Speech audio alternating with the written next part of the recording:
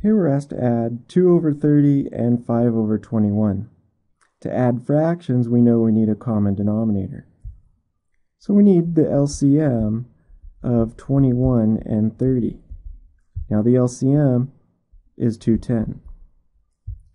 21 times 10 is 210, and 30 times 7 equals 210.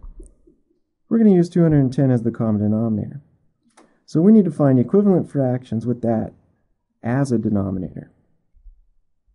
To do this, we're going to multiply by a special form of 1 to get equivalent fractions. In this case, I'm going to multiply 2 over 30 by 7 over 7.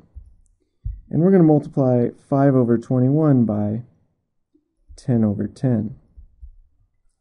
This will give us equivalent fractions with 210 as a denominator. 14 over 210 plus 50 over 210. Once you have equivalent fractions with a common denominator, you can simply add the numerators together. So we have 64 over 210. And we've added the fractions. At this point, we need to reduce.